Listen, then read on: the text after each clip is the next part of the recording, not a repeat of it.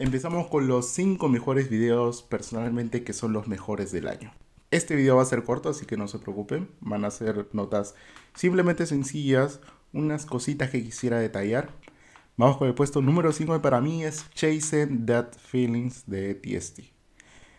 Sinceramente me gusta cómo las industrias no nos quieren traer un enví, sino van más allá, como una película. La colorización, los efectos especiales y las actuaciones fácilmente le pueden batallar a cualquier película. Y aunque muchas veces el green screen te puede lograr algunas tomas, como es el caso del tren, no quita el hecho de que todo en general está muy bien hecho. Sinceramente este enví se queda con el quinto puesto por una verdadera razón en específico, y es que aunque no hay mucho que analizar en este video, Creo que es suficiente que te sientes con tus audífonos y te dejes llevar, ya que estos envíos no se tratan mucho de comprenderlos, sino tratar de vivirlos, porque te hacen entrar en una experiencia bonita en un viaje donde te pierdes por un momento de la realidad. Eso, señores, es más que un enví, es una experiencia. Vamos con el cuarto puesto que para mí es No Touch de Twice. Estas chicas el año pasado mencionaron que el álbum que se venía iba a ser un tantito diferente a lo que es Twice. Sinceramente para mí no creo que haya sido así. Sin embargo, estas tres japonesas saben cómo enloquecer a cualquier público o bueno, en su público general. Actualmente Twice ya cambió. Las chicas crecieron y quieren mostrar una nueva faceta más atrevida. Atrevida entre comillas, ya que en realidad ni siquiera se esfuerzan para ser sensuales o si se diera la palabra sexys. Y Donut Touch es el claro ejemplo de ello. El visual que tienen es para desmayarse y creo que yo voy a ser una de esas personas cuando me vaya al concierto de Brasil. El video es finura pura, es elegancia, es el amor, es belleza, los conceptos bien definidos, hay una buena línea entre la canción y la edición del ritmo del cambio de planos. Cada una tiene algo que la define, no intentaron mezclar los outfits ni nada, es un punto muy valioso que cada una tenga su propio concepto, una propia personalidad. Y lo que más me encantó y sin duda me quedo es la edición como las obras de artes, ya que para ser sincero, estas chicas son arte puro y este envío es una obra maestra. Vamos con el puesto número 3, Bad For Me.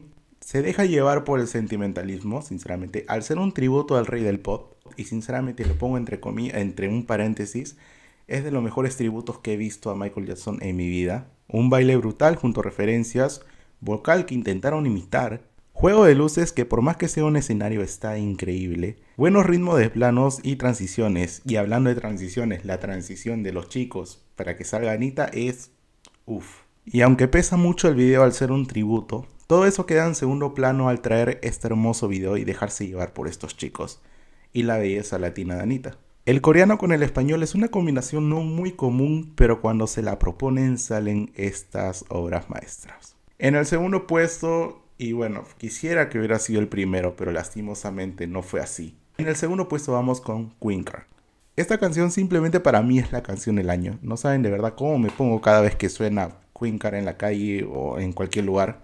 Ahora súmale ese poder del público al que pudo llegar mundialmente con un MV que en realidad es simple. Hay que ser sinceros, el MV no es wow. Es, es un MV sencillo, tampoco básico pero que dice mucho. Todo va en una sola línea, la colorización, los ritmos de planos, aunque no hay un plano, una transición que yo diga wow, bueno, en realidad es una. El envy es muy dinámico y eso basta para mantener enganchado a tu público de principio a fin. Las actuaciones no solamente de ella, sino de los enfermeros es buenísimo. Sinceramente creo que este envy más se lo lleva a la canción misma y es que para ser sinceros, hacer un boom de la canción con un video entretenido que cumple es de las mejores cosas que puedes hacer. Y señores, el puesto número uno, que no sé si algunos lo hayan visto ya que no es muy, no ha sido un video, digamos, que se haya tratado con mucho cariño este, este año. Pero para mí se lleva el puesto número uno y está en mi corazón. Es Ringo de ITZY.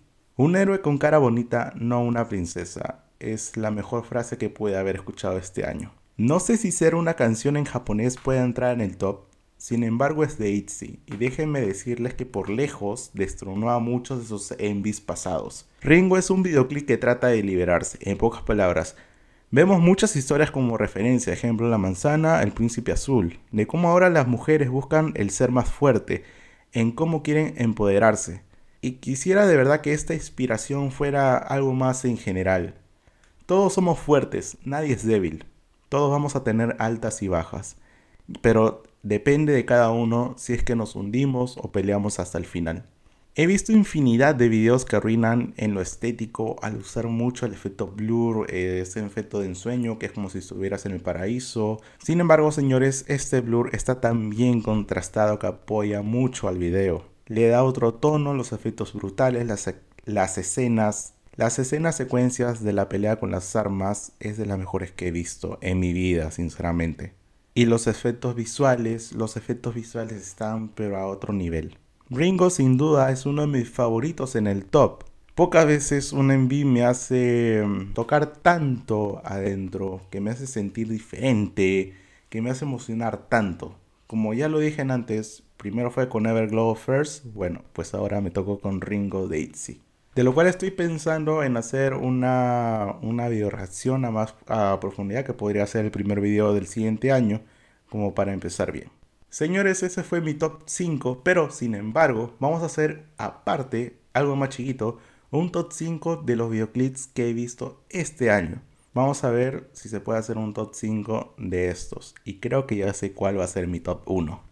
Si quieren saber a profundidad por qué estos videos están así de quinto, cuarto, tercero, primero, segundo, cada video está subido en el canal de qué es lo que digo, qué es lo que me gustó, qué es lo que no me gustó. Y bueno, empezamos. Para mí el quinto puesto podría ser, creo que me quedo con Chasing That Feelings, en serio. El cuarto puesto para mí se lo lleva así de plano, de una. Aunque suene un poquito wow, porque de verdad esta canción creo que le di mucho con palo, es el de TST con los Jonas Brothers. Para mí el tercer puesto, y sin duda alguna, es Pirate de Everglow. En el segundo puesto tenemos a para mí el segundo lugar se lo lleva Killing Me Good de Gigio de Twice. Y el primer puesto, que bueno, creo que ya varios saben cuál es, Everglow First. Señores, un fuerte abrazo, les deseo un feliz año nuevo y esperemos que el siguiente año se vengan muchas más cosas. Esperemos crecer mucho más, que venga mucha más gente, conocer mucho más a ustedes y que sobre todo no se acaben estos videos, ya que por ustedes este canal sigue vivo y por ustedes va a seguir vivo y por ustedes se van a venir nuevas cosas. Un fuerte abrazo, les deseo un feliz año nuevo, que la pasen bien, la pasen estupendo y conmigo será hasta un próximo video ya el siguiente año. Nos vemos y chao.